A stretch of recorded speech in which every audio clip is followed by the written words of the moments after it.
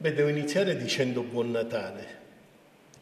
Fare auguri è sempre piacevole perché è sempre guardare il bello e il positivo e volere che gli altri possano provare a incontrare il bello e il positivo.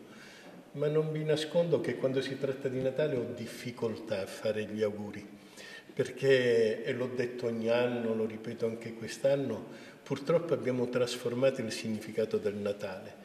Noi ci diamo da fare perché resti una bella favola, ma il Natale sa più di tragedia che di favola. E dire buon Natale è guardare a Gesù.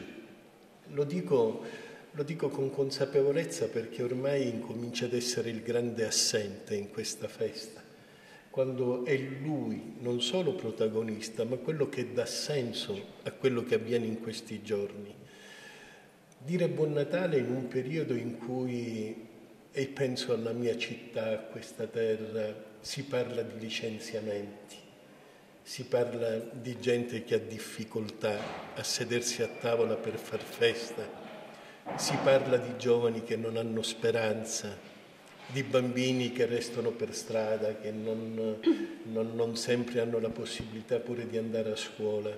Si parla di famiglie in difficoltà, di gente che non ha lavoro, che perde il lavoro, che ha paura di perdere la casa e non sapere come fare, di giovani che devono pigliare il pullman o l'aereo per andare altrove, di malati che sono nelle loro case e tante volte assieme alla malattia fisica c'è anche quella della solitudine di anziani che si sentono sbandati perché non hanno, non hanno nessuno accanto.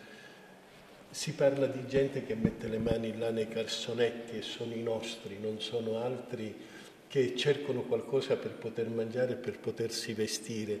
Si parla di gente che viene da altre terre perché ha voglia di vivere e vuole anche questa gente coniugare il verbo al futuro e non possono farne Ecco che allora questa favola che abbiamo costruito fa pugni con la realtà che viviamo.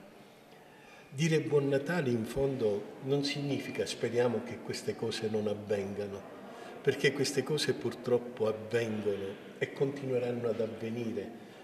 Ma fare dire buon Natale è dire guarda, anche se c'è questa situazione, guarda che la luce viene, che Gesù viene ed è su questa luce è su questo personaggio particolare che dovremmo poggiare la nostra vita, perché quel bambino che parla oggi ci dice non aver paura, io ci sono.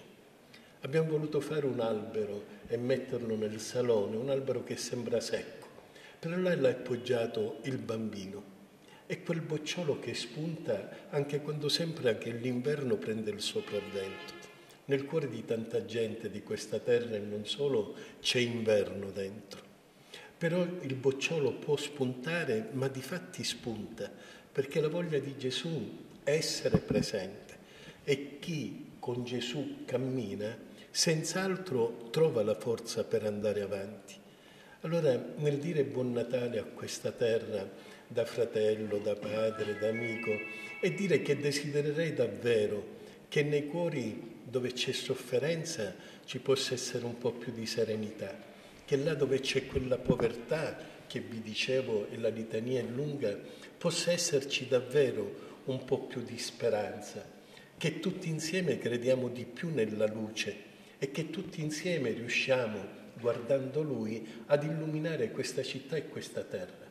La cosa che mi fa più male è sentire la rassegnazione.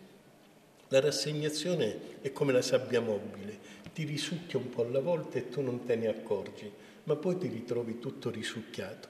Noi a furia di rassegnarci a tutto e a tutti stiamo perdendo l'abitudine di guardare avanti e di camminare.